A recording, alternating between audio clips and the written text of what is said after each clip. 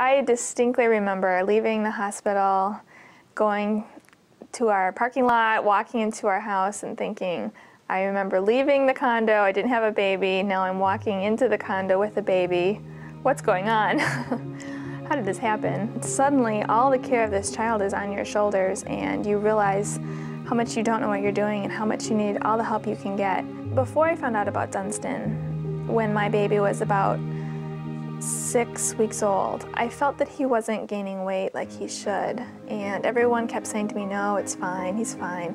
But I took him into the doctor and they were a little bit concerned and they had me bring him back about a week later and he'd actually lost weight from when they'd weighed him the first time.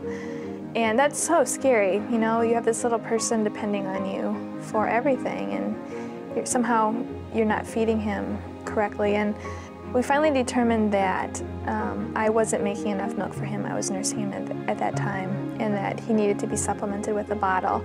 And it was right around the same time that I found out about Dunstan and the Dunstan system. And just having that reassurance during that really sensitive time to know right now he needs to eat and I can feed him. Right now he doesn't need to eat, he needs to sleep. And so I can just, I can just snuggle with him. So he's happier, I'm happier.